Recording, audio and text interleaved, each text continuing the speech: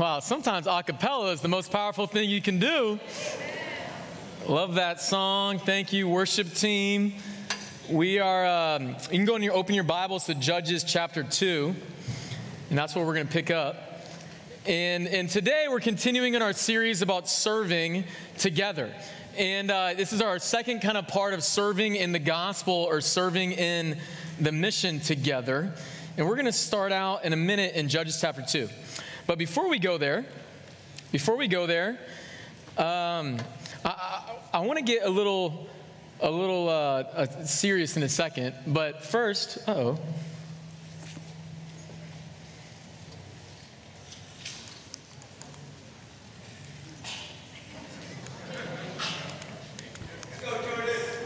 Check your cord. Check my cord.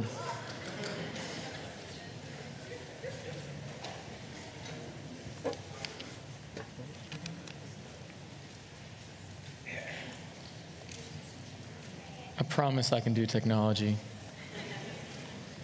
Interesting. A joke. I got dad jokes. Chase said, tell a joke. Why are cats scared of trees? Because of their bark. Can you can you try to do this? Yeah.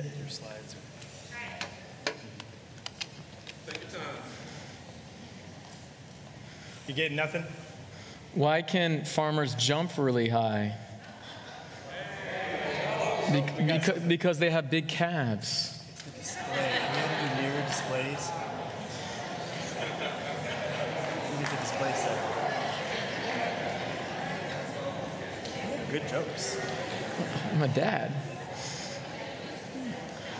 I, I don't know. I give up. Okay, here we go. One more joke. Why do cows wear bells? Because their horns don't work. I'm a dad now. I can make these kind of jokes. I don't. I don't need them. It's okay. I'll just do my thing. I don't know if PCs. All right. Well, they were working earlier, but it's okay. I'm gonna try to send your slides up there. I need my notes. So today we're talking about unmute, all right? And uh, it's a it's something. Thank you for bearing with us. Hey, we're we're a family. Sometimes stuff happens, right? So today we're talking about unmute, and um, and we all know what the unmuting button is now after this last year and a half, don't we? It, it's the scariest, bro. You're not muted when you're in the bathroom or what. we know what that's like now. It's terrible. But today we're talking about being unmuted for Christ as we're talking about uh, serving in the gospel together. And my first point is your mute button. All right? Your mute button. And this whole idea is about how Satan is all about muting God's people. He's all about that. He excels in muting God's people. Why? Because the people of God are the only voice that can bring life to a world that Satan's trying to destroy. The people of God are the only voice that can bring love to a world that Satan is trying to bring hate to. Why is Satan trying to mute us? Because the people of God are the only voice that can bring faith to a world that Satan is filling with fear. Satan's all about muting us. And what happens when Satan wins? We get to see that a little bit in Judges 2. We're going to get kind of serious as we start out today. In Judges 2, you actually get a picture of what happens when Satan mutes God's people. Judges 2, verse 6. After Joshua had dismissed the Israelites, they went to take possession of the land, each to their own inheritance. The people served the Lord throughout the lifetime of Joshua and of the elders who outlived him, and who had seen all the great things the Lord had done for Israel. It's a great time in Israel's history. God had blessed them with the promised land. In verse 8, Joshua, son of Nun, the servant of the Lord, died at the age of 110. And they buried him in the land of his inheritance at Timnath Heres in the hill country of Ephraim, north of Mount Gaash. Sometimes when you're reading scripture, you got to practice those names. Verse 10, this is why I wanted to read this. Check this out. After the whole generation had been gathered to their ancestors, another generation grew up who knew neither the Lord nor what he had done for Israel. Then the Israelites did evil in the eyes of the Lord and served the Baals. They forsook the, the Lord, the God of their ancestors, who had brought them out of Egypt, and they followed and worshiped various gods of the peoples around them. And they aroused the Lord's anger. This is a scary passage.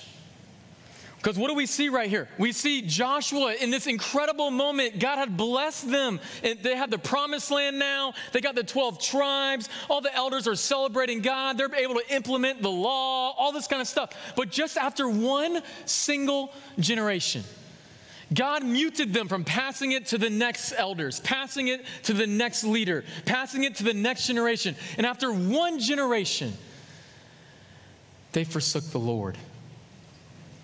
There's this reality that Christianity is always just one generation away from extinction. It's just one generation. It doesn't matter that it's been here 2,000 years. It doesn't matter there's a billion people around the world that have some kind of Christian faith. If Satan can just mute us for just one generation, then it goes extinct.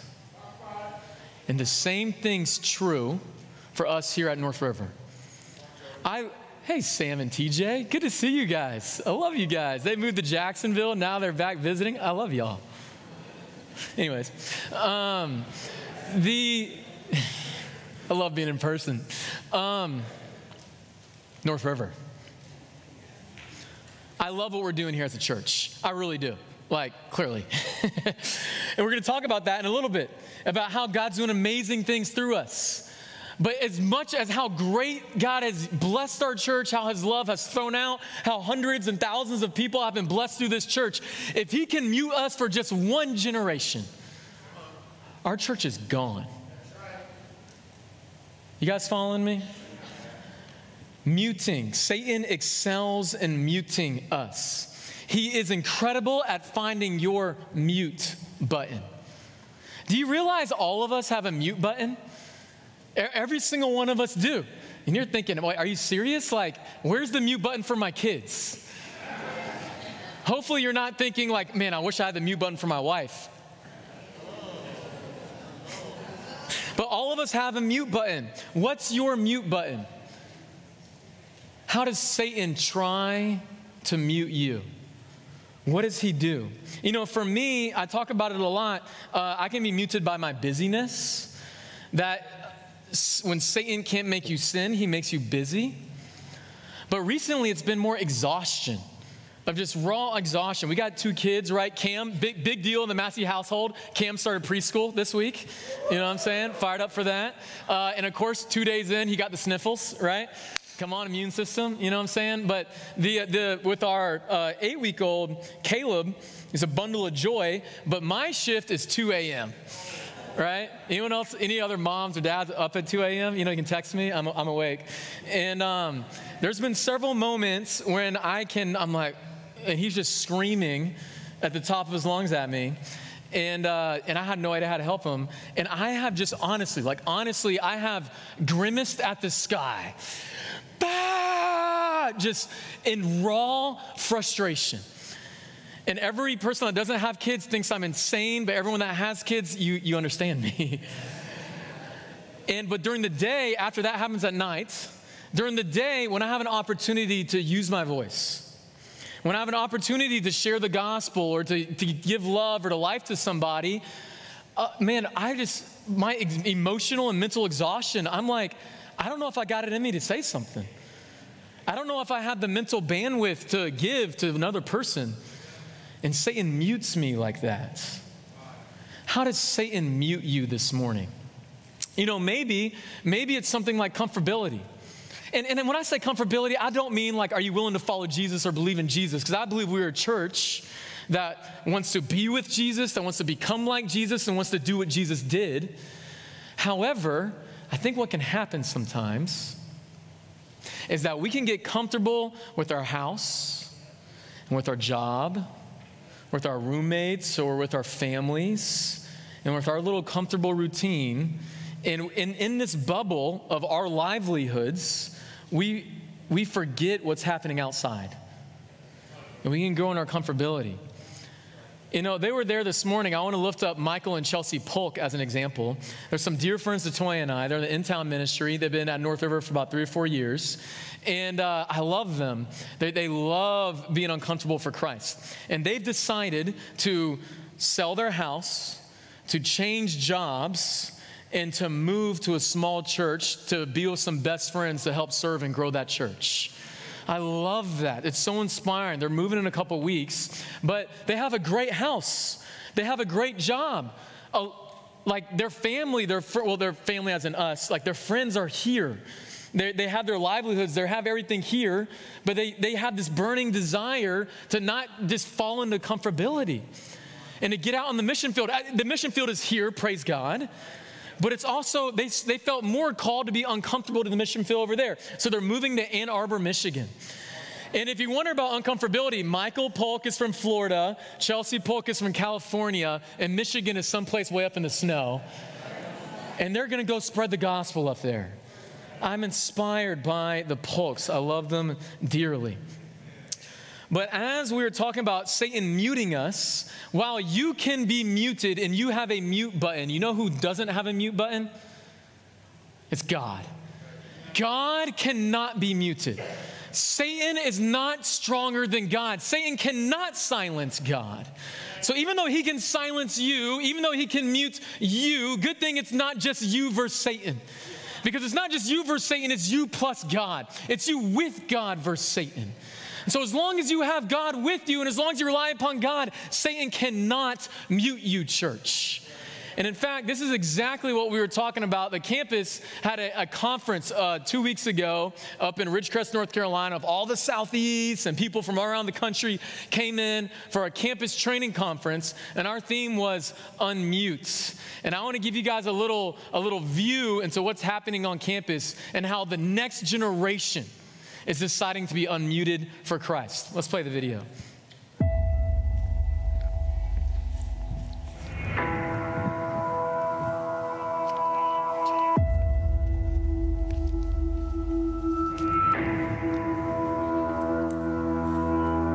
Christianity is always just one generation from extinction.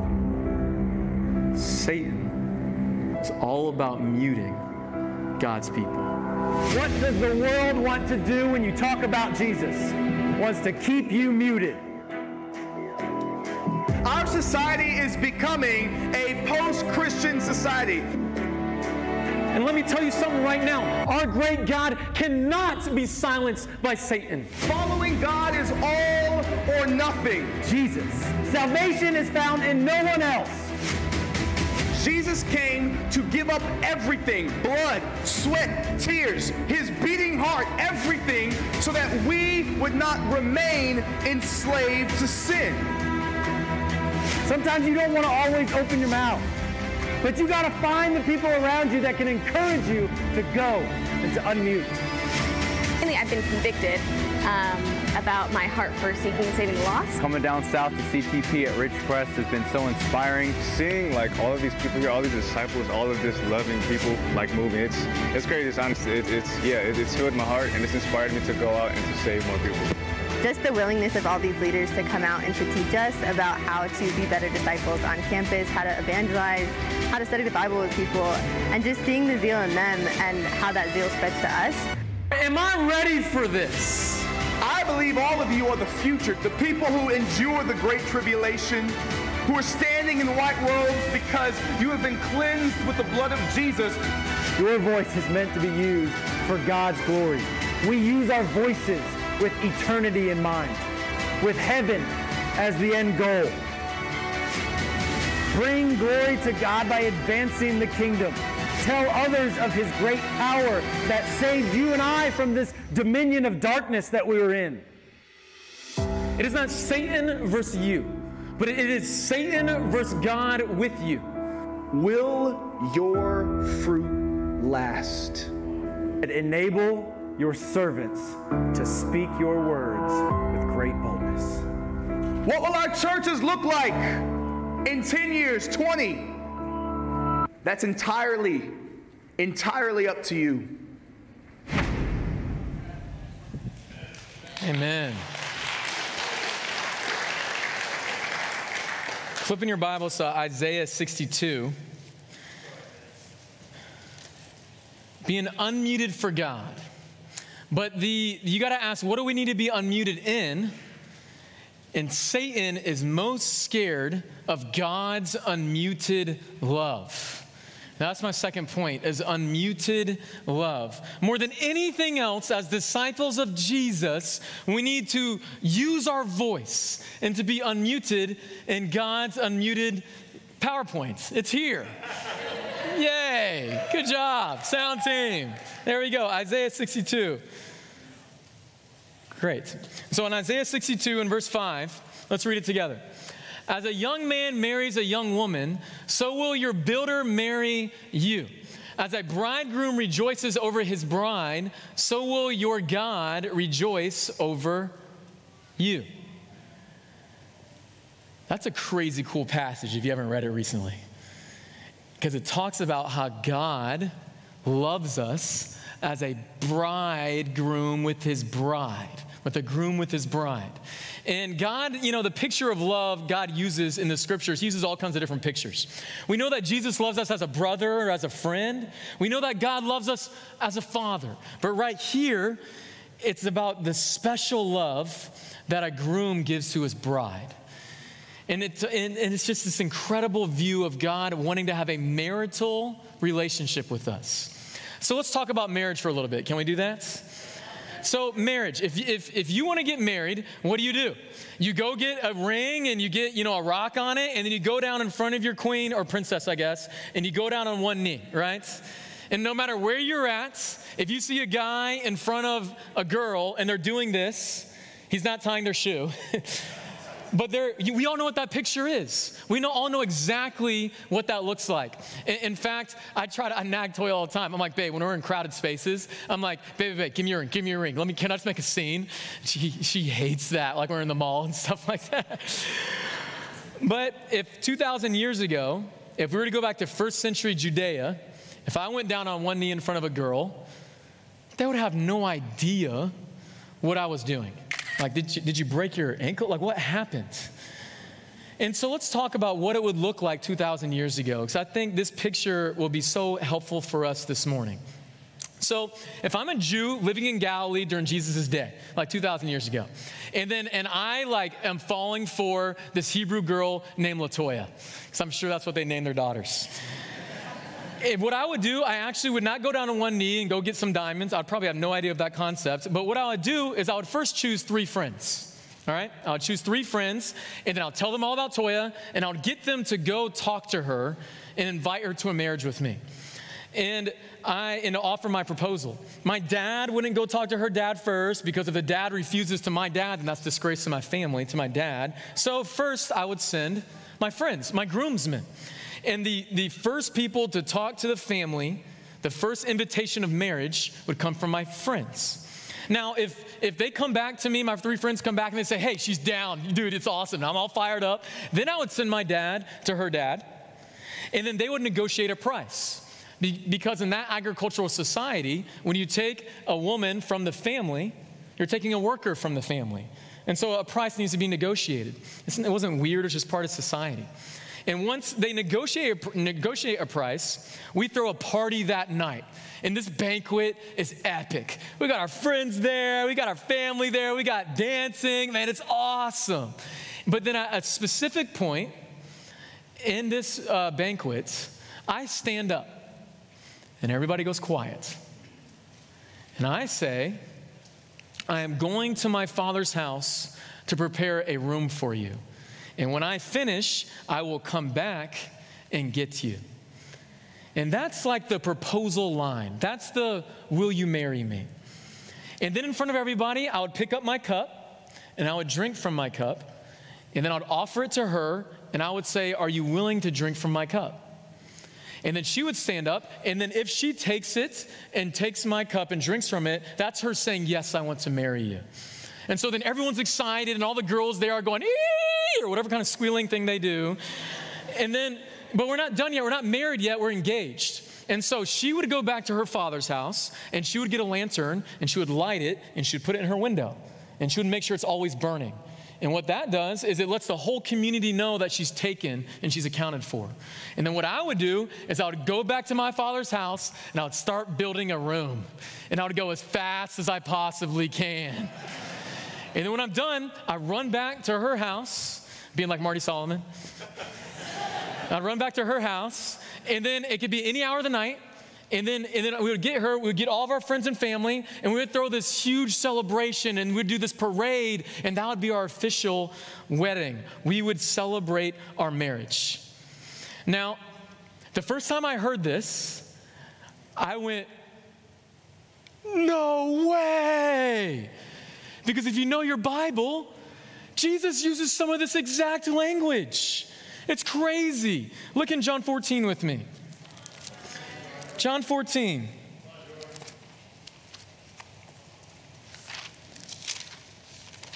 And in John 14, it's the Last Supper, the night before Jesus dies. And in verse 1, he says, Do not let your hearts be troubled. You believe in God, believe also in me. My Father's house has many rooms. If that were not so, would I have told you that I am going there to prepare a place for you? And if I go and prepare a place for you, I will come back and take you to be with me, that you also may be where I am. You know the way to the place where I am going. So it's the Last Supper. The disciples know something's about to happen. They're getting anxious. They can feel it in the room. They're getting worried. They're getting scared. What's about to happen? And Jesus is thinking, how can I possibly convince my disciples of my love? Like, what's the strongest language that I could use to convince them of my love, to make it go down deep? And then he literally proposes to them. He, he stands up and he says, I'm going to my father's house to prepare a place for you. Their mouths must have. And then I will come back and take you to be with me. He literally proposes to them marriage, a wedding, the deepest relationship you can have with someone on this earth. That's the level of Jesus trying to express his love to them. Do you realize how much Jesus loves you this morning? What kind of relationship he desires to have with you this morning? And that's the love. That's the love that we are trying to unmute. But here's what I want us to focus on, okay? That it's the groomsmen that make the first invitation, not the groom. Next slide. It's the groomsmen. It, like the groom didn't go to the, the bride or the family himself. He sent the groomsmen, his friends. Nope, go back. Didn't make it. The first person to, to propose is not the groom, it's his friends. But wasn't that true with you guys? Like, Jesus probably didn't come talk to you first, but he sent his friends. Jesus probably didn't come and show up in your life and himself invite you to church or give you some, the first experience that you had with Jesus were with his friends. He spoke through somebody else. So now to the slide in 2 Corinthians 5. The same thing's true for us, church, right? And in 2 Corinthians 5 and verse 14, you know, we see that all this about Christ's love, right? For Christ's love compels us. It's this love that we're talking about. And he has committed to us the message of reconciliation. We are therefore Christ's ambassadors, as though God were making his appeal through us. We implore you, on Christ's behalf, be reconciled to God. We're God's groomsmen now. Jesus says, I no longer call you my servants, but I call you my friends. He says that you're the one that makes the first invitation, not me. You're the one to invite people into this message of reconciliation first, not me. This is amazing. So let's think through this. If I'm a first century Jew again in Galilee, okay? And then I want to marry this Hebrew girl named Toya. I choose three of my friends. It's not Peter, James, and John, but we'll say it's Nick, and Jonathan, all right?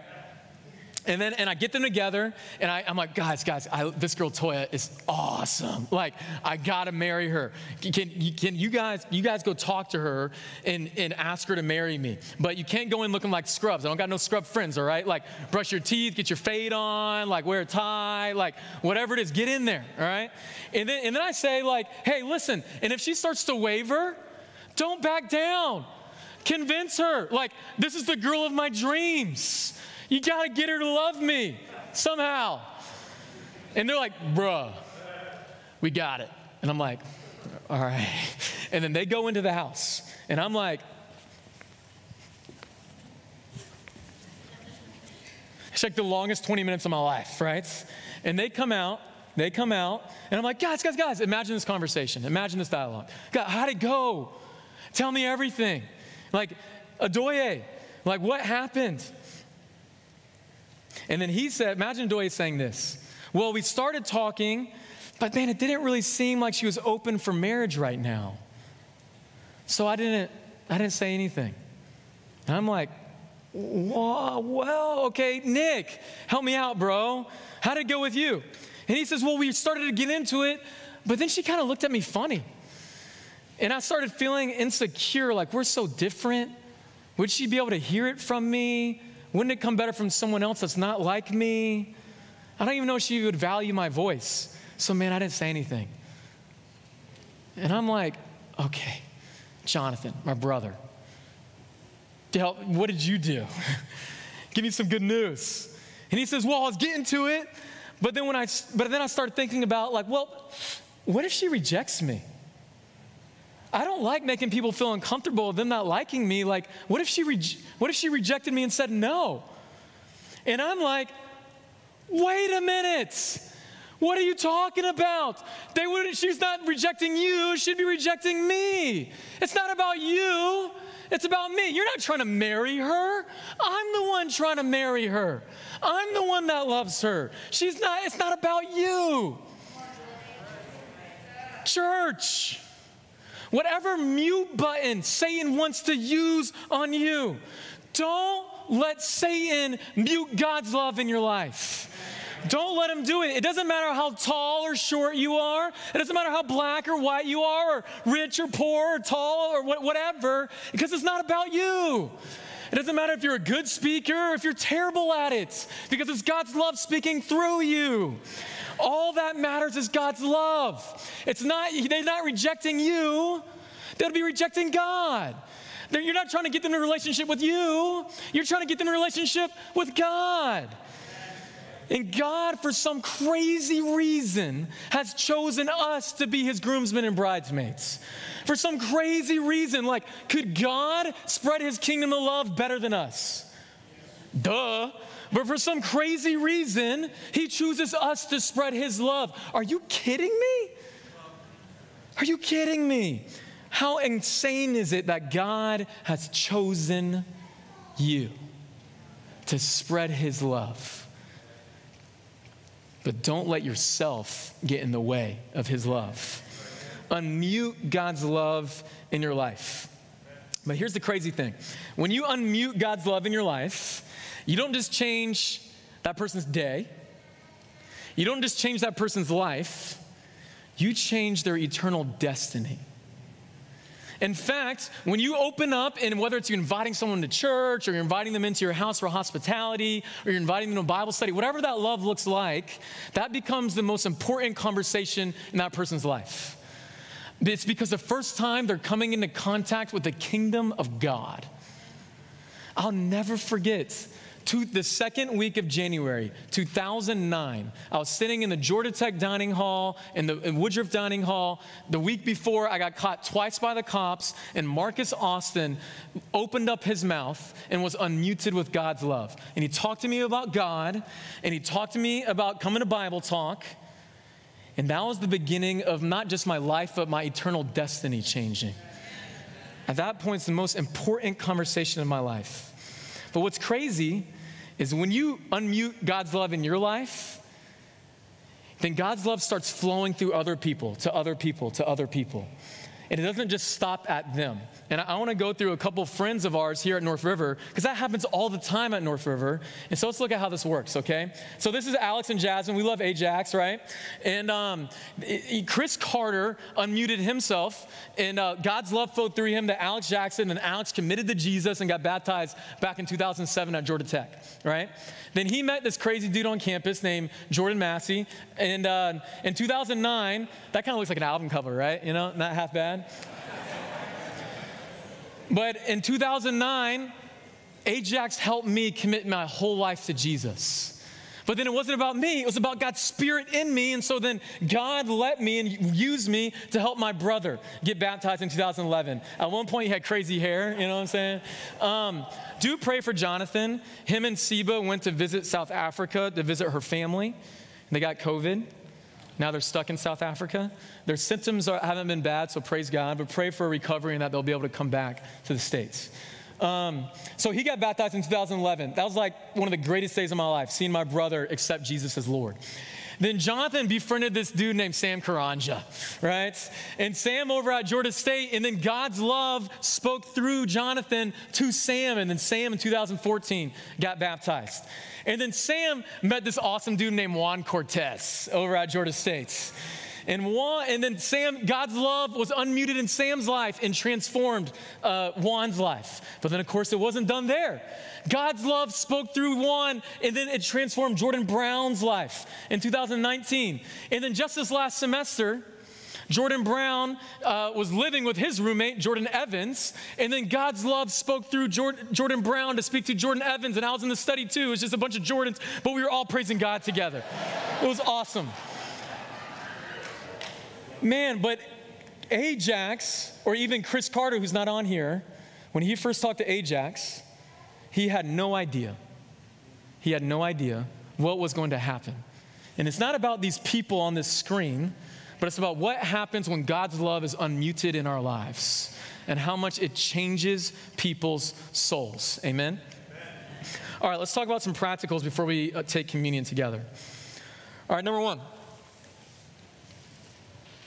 Isolate your mute buttons, what mutes you, and meditate on why you're muted in that way. I think this can be a time for healing and prayer and meditation for us, because for some of us, it's a deep rooted insecurity, or it's some way we view ourselves. For others of us, it might be a lot more simplistic or a lot more shallow, but to, to take some time to work that through with God. And then, number two, and then next week, unmute God's love in your life by inviting someone to get together to look at the scriptures. Now, whether that's come to church or come over for dinner, or let's talk about God, or to get in a Bible study, the reality is the greatest way to give somebody God's love is right here. It's what it's all about. And, and I will give you guys this little tidbit. There's this awesome sister in, in town named Chris.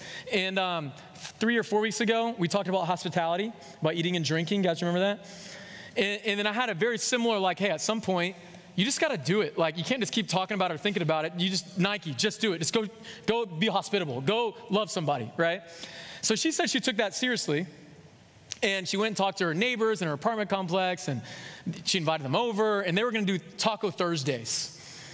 And so on Tuesday, before Thursday, she went to the grocery store to get the tacos. And long story short, when she comes back to her apartment, there was a tree in her living room. And she was sitting there telling me the story, and I didn't quite connect the dots. But then at a certain point, she goes, No, Jordan, Jordan, Jordan. If I wasn't practicing hospitality and following through on your practical, I would have been in my living room. And I don't know what happened, but I'm so grateful I listened. So if you're looking for some motivation to do the practicals, If you could read a book with someone and cure their cancer, would you do it? If you could read a book and cure their AIDS, would you do it? And if you could read a book and you could change their eternal destiny, would you do it? I know you would. And that's what we're all about at North River. We're about not letting Satan mute us and letting God's love flow through us. Amen? Let's pray together for communion. God, we are so grateful for your love. Father, we know Satan wants to destroy your love. He's scared of your love. He wants to do whatever he can against us to stop your love from working and speaking through us. God, I pray that we can rely upon you and let your love overpower the dominion of darkness. And God, we're so grateful. We're blown away. We don't understand what it means that you want a, a marital relationship with us. And even as we take this communion right here, we remember at that Last Supper when you, when you took the cup and you offered it to the disciples Will you drink from my cup? And right now, during this communion, we reaffirm our vows to you that we want this relationship. And we're so grateful for Jesus giving us a chance. We're also reaffirming that we'll let your love flow through us. And I pray that your love can shine bright as the dawn through North River. And in Jesus' name we pray, amen.